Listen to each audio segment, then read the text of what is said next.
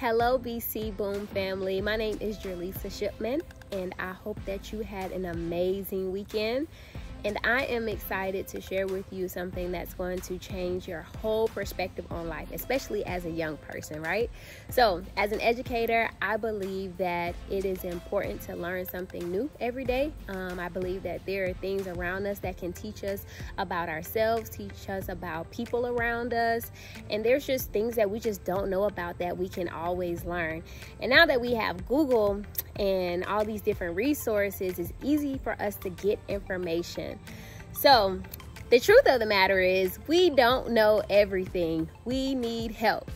Um, there are things that we have not experienced yet, and there are things that we can't even think about going through. And that is why we need mentors and people around us to help us be great, essentially. Um, when I graduated college, I think that was when I needed the most help because it was my first apartment, my first job, my first car, my first everything as an adult. And if it wasn't for the people that got placed in my life around me to help me through those processes, I do not think that I would have been successful in that. So Proverbs even talks about having a having multiple advisors and counselors so that our plans will succeed. And so as our ministry partners go deeper into this topic, I want you to take as many notes as possible because this is going to be one of the topics that you are going to need for the rest of your life, okay? Especially as you grow and as you move into different seasons of your life. So, stay tuned, take notes.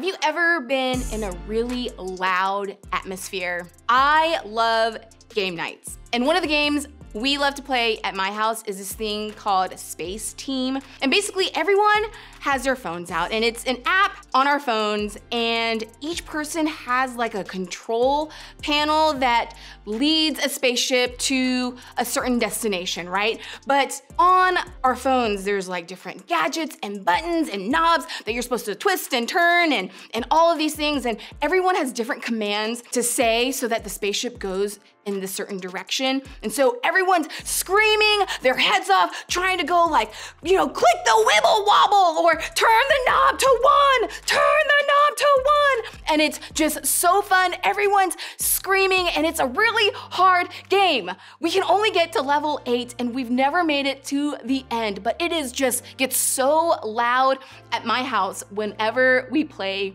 this game. But in this series, we've been talking a lot about what's true for only the young, people in your phase of life. And when it comes to being young, there's one thing that is uniquely true.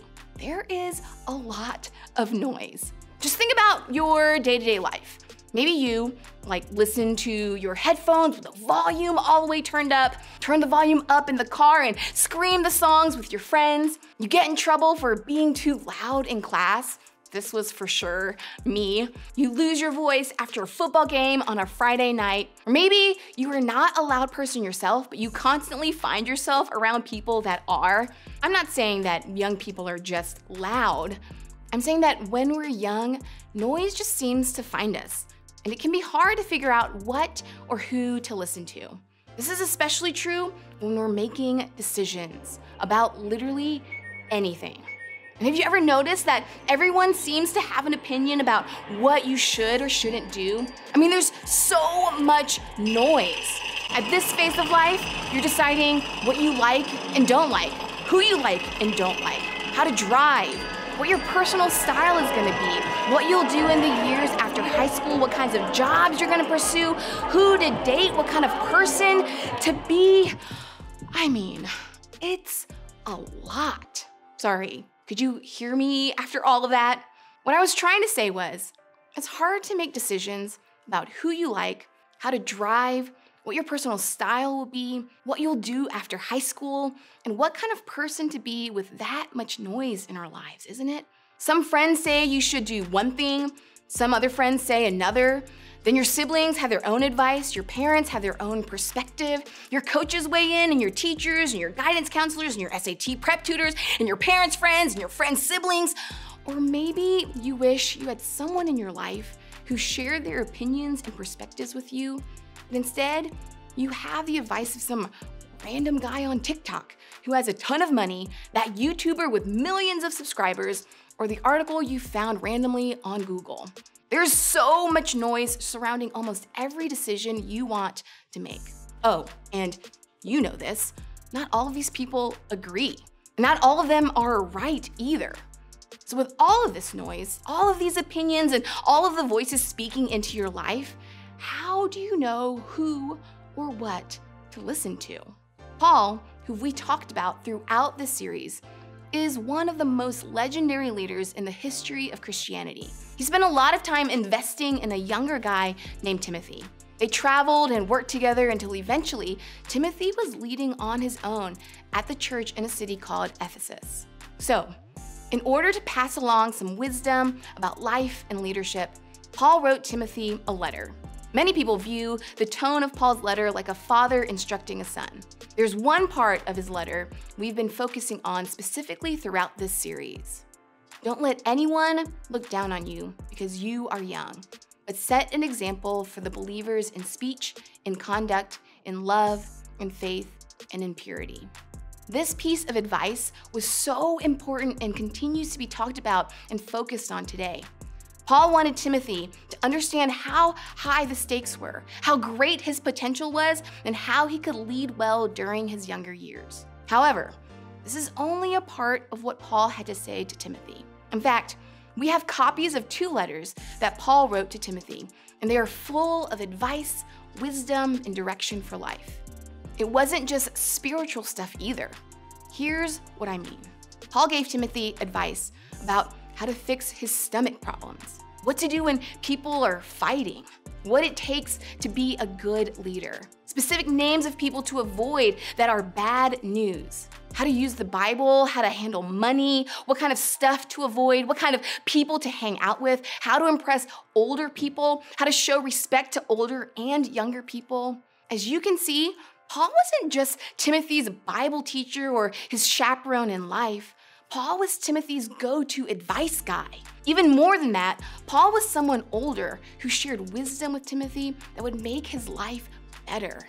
In fact, this kind of wisdom is what the letters of 1st and 2nd Timothy are full of.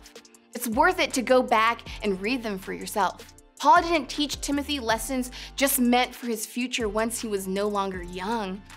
Paul helped Timothy figure out what to do in the circumstances of his life as a young person. In other words, when Timothy wondered, How do I know what I don't know? His answer was, Ask Paul. And here's the reason we're talking about this today. It's a little thing that makes a big difference, so don't miss it. It was Timothy's choice. Timothy understood that we all need the wisdom of someone older. This is true for you in high school, and this is true for me even as an adult. The thing is, you have a really unique opportunity to take advantage of right now. When you're in high school, one thing you can do that will change your whole high school experience is to pick a mentor or to pick a group of mentors. These are people who can help you in real life ways. They will walk alongside you as you navigate life in high school. They can give you great advice they can be there for you when you don't know what to do. And please hear me. You can totally still listen to people your age. But the truth is, people who are older than you have more life experience, both highs and lows, that equip them to help you navigate real world situations. Now, before you just go find some random person that is older than you to begin giving you life advice, don't do that because that sounds like a terrible idea. It's important that we use wisdom for who we choose. I mean, is being older really the only qualification? No. Here are two filters to help you pick great mentors. First, they have to make wise decisions in their own life. I'm not talking about perfection, and good luck finding that. I'm talking about a person with a pattern of making healthy choices. A great way to determine this is to ask yourself this question Does this person make the kinds of decisions that lead to the kind of life that I hope to live? If the answer is yes, you're on your way to finding a great mentor. Second, they have to care enough about you to tell you the truth, even the truth that you don't want to hear. A great mentor will tell you what you need to hear, not just what you want to hear. They will say difficult things out of love they believe it will help you grow for the better. Yes, sometimes it's really difficult to hear the hard truth, but it's also the way we grow. Having someone in your life who will tell you the truth, even the truth you don't want to hear, is one of the greatest gifts you can ever receive in life. For me, I have a mentor who is who is older and is in a different season of life. But they spoke into my life, they poured into me, they saw potential, encouraged me, but we also had to have some hard conversations about areas that I could grow in. And in fact, it's one of the reasons why I'm here today speaking to you because they saw something in me to use my voice to communicate to students. And I appreciate that so much about my mentor. So, when the noise is turned up and everyone seems to have an opinion, one of the best things you can do for yourself is to decide ahead of time who you will listen to. Look, I know this isn't necessarily a common way to live in high school. It's not like everyone in your school is constantly talking about finding great mentors.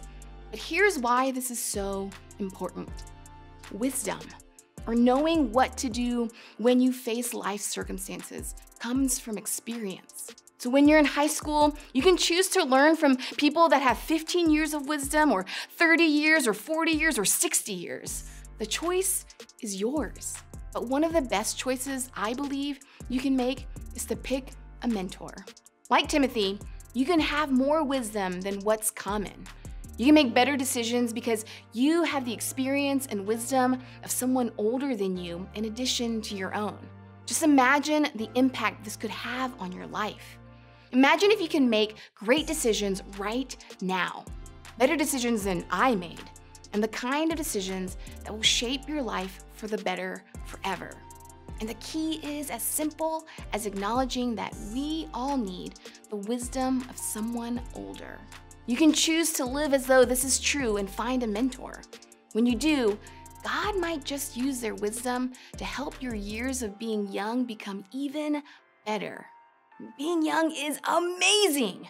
You don't want to miss it or to just try to fast forward through it.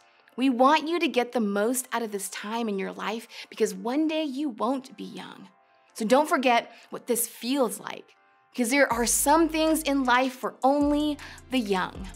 When you head to groups, think about your response to this question What impact could a mentor's wisdom have on your life?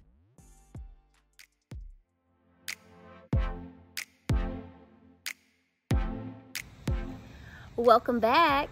I hope you took a lot of notes and you gained a different perspective on why it is so important to have as many counselors and guiders and people around you to lead you throughout the different seasons of your life. One thing that I want to add is that the Holy Spirit is the perfect counselor. In James, it talks about asking for his wisdom because he gives it freely and generously. And so I encourage you to also listen to the voice or learn to listen to the voice of the Holy Spirit while you are making crucial decisions for your life. Also, um, mentors and advisors are going to be the people that help lead you into your purpose. So I encourage you to choose wisely. And even the ones that you may resist, I also want you to be open to what God may present to you. I know that sometimes we want the people around us to look a certain way or act a certain way, but some of our greatest blessings are through people that we did not expect. So I want you to take notes of that and be open to the people that God may send in your life.